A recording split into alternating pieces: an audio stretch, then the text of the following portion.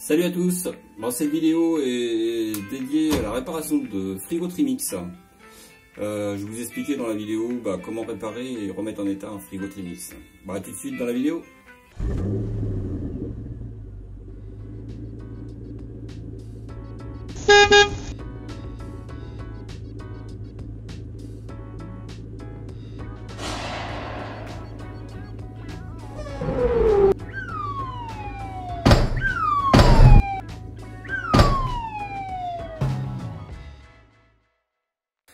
Je vais vous parler un petit peu des, frigos dans les camping-cars, les Trimix. Euh, alors toujours euh, les Trimix, euh, j'entends dans les camping-cars vintage, hein, les camping-cars qui ont, une dizaine d'années, voilà. Parce que bon, les derniers, c'est encore autre chose. Mais généralement, on trouve ce, ce modèle un peu partout dans les camping-cars. Donc avec les boutons là sur les côtés, 220, 12 volts, et puis le gaz de ce côté-là. Voilà. Donc ça fait plusieurs fois que j'en répare. Euh, de ce modèle où euh, ce qui est bien c'est qu'on arrive à trouver quasiment toutes les pièces. Donc on peut si l'intérieur du frigo est propre et pas percé en fait on peut arriver quasiment à le remettre en état de neuf. Euh, donc généralement ce qui foire dessus c'est la partie qui est là. Donc au niveau du gaz au niveau sécurité du gaz cette partie là qu'on arrive à, trouver sur internet. Alors je vous mettrai un lien dans la description en bas où trouver cette partie. Euh, c'est vendu d'ailleurs avec tout le, fil, euh, la petite résistance qui est derrière là euh, pour la sécurité. ce qui est à changer généralement aussi, c'est le bouton du 12 volts qui est là. ces boutons sont relativement fragiles, peuvent coûter très cher si on les achète sur les, site spécialisé euh, camping-car ou Electrolux. Euh, par contre, on peut les trouver euh, en poche de 20, ça vient de Chine et ça coûte 5 euros. Quoi. Voilà. Et voilà, une fois rebranché, bah, ça marche comme neuf. derrière,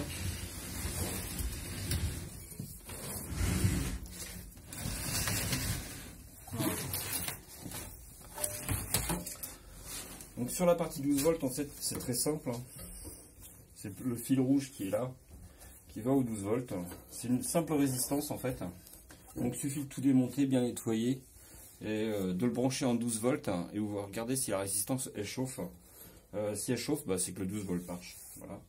Et pareil pour le 220, en fait, c'est le fil noir qui descend là, là, là. Et c'est la même chose en fait, c'est une résistance.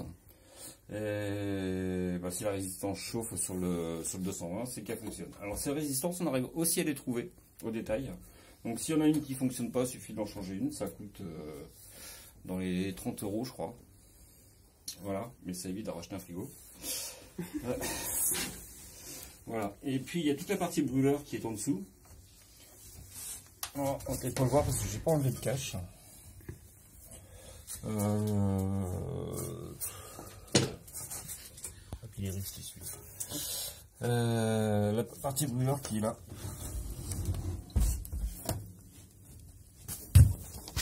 Donc bas, voilà. Cette partie là qui est là. Voilà. Donc ça c'est pareil. On arrive à trouver toutes les pièces. Donc le mieux quand euh, si refaire une remise à neuf, euh, c'est de racheter carrément le brûleur avec les injecteurs. Enfin avec l'injecteur qui est dedans. Et c'est pareil, ça coûte, euh, je crois, dans les 50 euros, à peine 50 euros, 45 euros, je crois. Voilà. Et le frigo repart euh, comme neuf. Euh, parce que bah, il y a juste à dévisser en fait hein, la partie qui est là, l'arrivée du, gaz, le changer. Il n'y a quasiment pas de réglage parce que quasiment, enfin quand ça arrive, c'est quasiment tout pré-réglé. Donc il y a juste à l'installer, visser et euh, à ce niveau-là, ça marche. Donc si, si vous changez euh, euh, le starter pour le gaz qui est, et la sécurité qui est là, l'ouverture du gaz, le, le, brûleur qui est en bas, vous en avez pour à peine 100 euros. Quoi. Voilà. Et le frigo fonctionne comme neuf. Mais voilà. Donc en fait là tu nous as présenté euh, ton le fonctionnement du, réfrigérateur. Et euh, précisément, comme quelqu'un comme, qui est comme moi qui n'y connaît absolument rien, moi je suis en panne avec mon, avec mon réfrigérateur. Hormis faire loulou, il marche plus. et donc on fait comment pour le réparer et pour pas le jeter? bah, Dessus il peut y avoir quatre pannes, ouais, quatre pannes différentes. Voilà. Donc euh, la première, qui généralement arrive sur la plupart des frigos, c'est la prise 12 volts.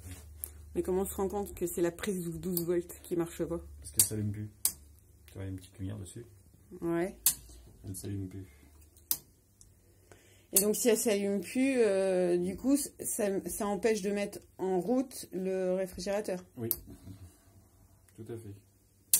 Et donc si elle s'allume plus, il bah, faut bah, retirer le réfrigérateur de, son emplacement, l'allumer, démonter derrière.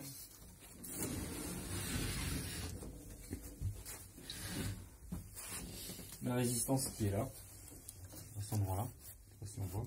Oui. Il faut suivre le fil rouge. Hum. La résistance qui est là, on l'allume et puis on voit si la résistance elle chauffe. Si le, le, ne bouton s'allume pas et que la résistance chauffe, ça veut dire que c'est le bouton qui est qui est, qui foiré. Qui est foiré. Mais... le bouton peut être foiré et ne pas allumer la résistance. Donc dans ces cas-là, le moins cher des deux, bah, on commence déjà par changer le, bouton qui est hum. en haut. Si ça chauffe toujours pas, c'est que la résistance est morte aussi. D'accord. Voilà. Mais en règle générale, c'est le, petit bouton qui est là. Le, bouton qui quasiment rien. Donc ça, c'est pour faire fonctionner sur le 12 volts. Sur le 12 volts. C'est la, première chose généralement qui, ne marche plus sur le frigo.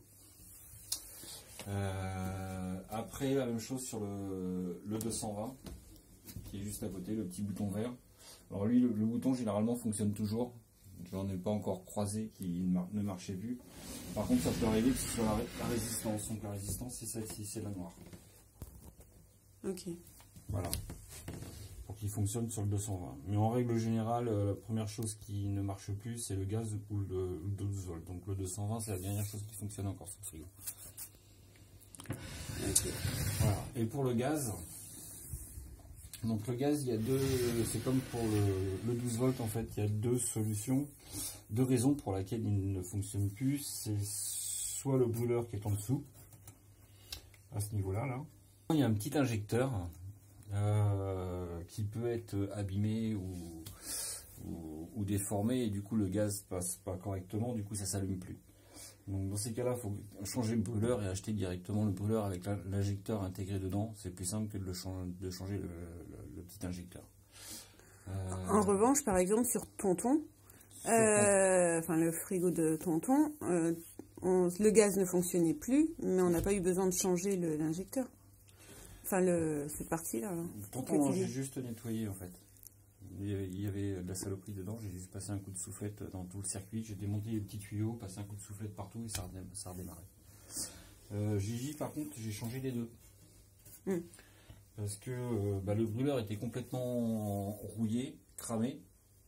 Donc du coup, je l'ai changé par une question de sécurité. Et en plus, il y avait la vanne ici qui ne fonctionnait plus. Parce que quand on démarre un frigo, en fait, on, reste appuyé pour euh, la sécurité, pour euh, l'ouverture du gaz. Après, on tourne et après, on démarre avec le piezo. Mmh.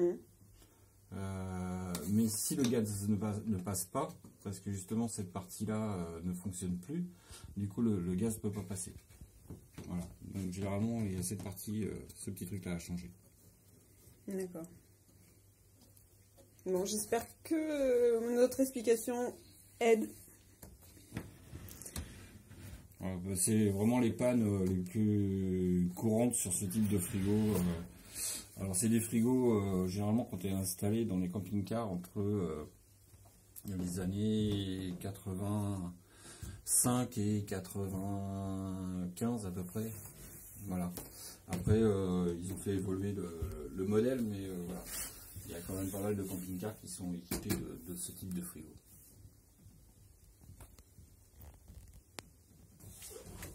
Bon voilà, bah, cette vidéo était relativement courte. J'espère que ça va pouvoir en aider quelques-uns sur des frigos qui sont en panne. Voilà, bon bah à plus dans une prochaine vidéo. Laissez-nous en commentaire des suggestions, des informations pour augmenter la qualité de nos vidéos, on adore ça.